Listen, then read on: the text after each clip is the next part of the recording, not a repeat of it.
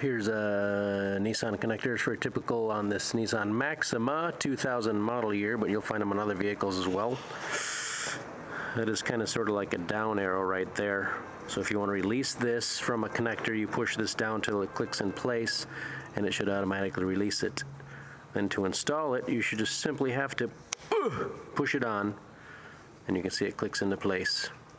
So that's how they work. Let's see how to release it.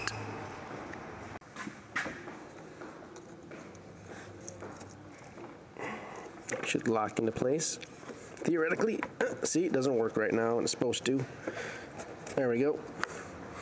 Little encouragement, but there it's off. We'll put it on. Clicks back into place. Can fight with them, but that's the theory on how they work.